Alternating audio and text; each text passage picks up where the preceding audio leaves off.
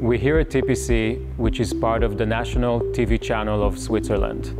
At TPC, they have different types of workshop that service all the type of set designs that go to the different programs. We build decoration for Swiss TV, also for other uh, TV stations in Switzerland.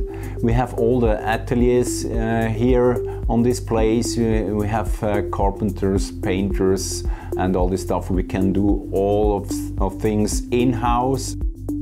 Since three years we are also into the 3D technique and we see the future that it uh, comes up with more complex shapes and forms from our designers.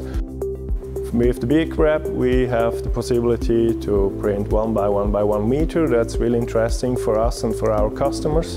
And so we can build a lot of very interesting and complex shapes in one piece. On top of making 3D printed parts, TPC is also specializing in high-end finish.